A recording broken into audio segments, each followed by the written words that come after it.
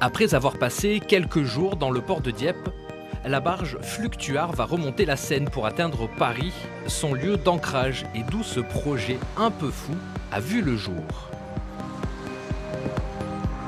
Nous sommes à l'ICAR, l'école du management de la culture et du marché de l'art.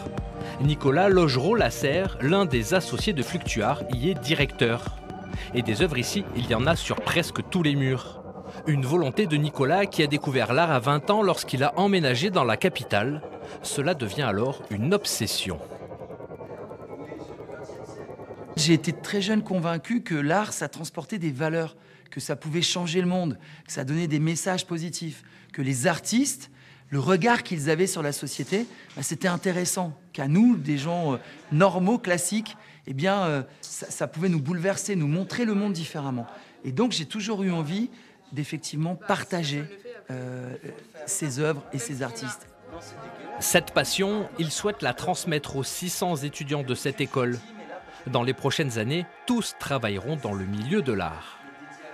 Leur rôle, leur, leur but euh, dans les années qui viennent, ça va vraiment être de transmettre hein, la question de la médiation, être le lien entre l'œuvre et le public. Et eux, ils seront là, à cet endroit-là. Et donc, les faire vivre avec des œuvres d'art, comme, comme l'œuvre de l'artiste Madame derrière moi, ça, me paraissait vraiment essentiel. C'est comme tous ces, ces, lieux de coworking qui se créent, qui sont super euh, agréables et qui du coup inspirent les gens à faire des projets. Ici, c'est un peu la même chose. Voilà, d'avoir des œuvres d'art un peu partout. En plus, ça change, ça bouge. Des fois, on croise les artistes. C'est, enfin, c'est juste, bah, je sais pas ce que tu en ouais. penses, mais c'est une, une, opportunité. Euh... Moi, euh, je, je connaissais pas trop le street art et c'est vrai que quand tu arrives dans l'école, enfin, il y en a partout, quoi. Es dans, on est dans une école musée, donc euh, c'est assez atypique. Et, et ouais, ça nous, c'est très inspirant. Le leitmotiv du projet Fluctuar s'accorde avec la ligne directrice de l'ICAR, redonner ses lettres de noblesse à l'art urbain.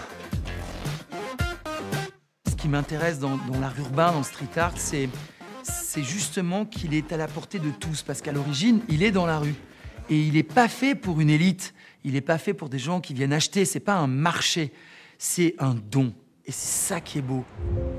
Et pour être en accord avec ce discours, l'entrée au musée, tout comme les visites des expositions, seront gratuites.